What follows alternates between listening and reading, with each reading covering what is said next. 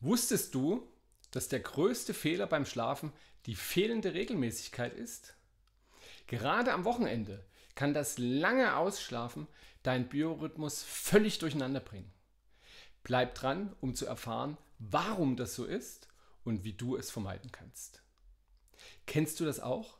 Am Sonntag lange ausschlafen und dann abends einfach nicht einschlafen können? Schreib mir in die Kommentare, ob du dieses Problem auch hast. Viele von uns nutzen das Wochenende, um Schlaf nachzuholen. Doch dieses lange Ausschlafen kann unseren Biorhythmus erheblich stören. Durch das späte Aufstehen am Sonntag verkürzt sich die aktive Zeit bis zum Schlafengehen. Das führt dazu, dass weniger Schlafdruck aufgebaut wird. Und üblicherweise ruhen sich viele Menschen am Sonntag auch noch aus. Obwohl wir zur normalen Zeit ins Bett gehen, ist der Schlafdruck durch den verkürzten und vielleicht wenig aktiven Zeitraum nicht ausreichend. Zusätzlich erschweren uns Sorgen und Stress über die bevorstehende Woche das Einschlafen. Wenn du wissen möchtest, wie du einen regelmäßigen Schlafrhythmus beibehältst, bleib dran. Hier sind meine fünf Top-Tipps, um deinen Schlaf zu verbessern und die größten Schlaffehler zu vermeiden. Erstens, gleiche Schlafenszeiten. Versuche auch am Wochenende zu ähnlichen Zeiten ins Bett zu gehen und aufzustehen wie unter der Woche. Zweitens, Schlafdruck aufbauen. Sorge für ausreichend körperliche und geistige Aktivität, um abends wirklich, wirklich müde zu sein. Drittens, Entspannungsrituale. Entwickle Rituale, die dir helfen, gedanklich zur Ruhe zu kommen, wie Lesen, Meditation oder sanfte Dehnübungen. Viertens, Stress reduzieren.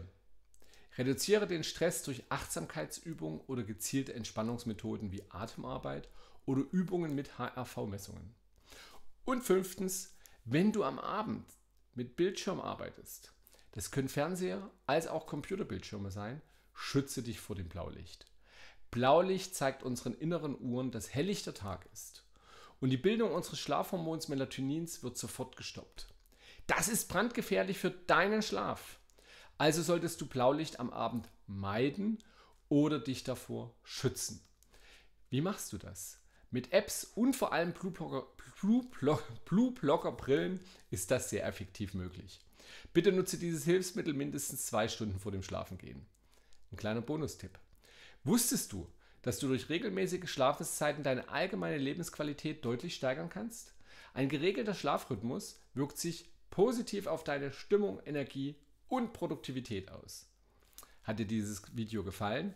Dann gib uns einen Daumen hoch und abonniere unseren Kanal für mehr Tipps rund um Gesundheit, Stress, Langlebigkeit und Lebensglücklichkeit. Schau dir auch unser neuestes Webinar zur Schlafoptimierung an. Den Link findest du in der Beschreibung. Hinterlasse gerne einen Kommentar und erzähl uns von deinen Erfahrungen mit unregelmäßigem Schlaf. Bis zum nächsten Mal.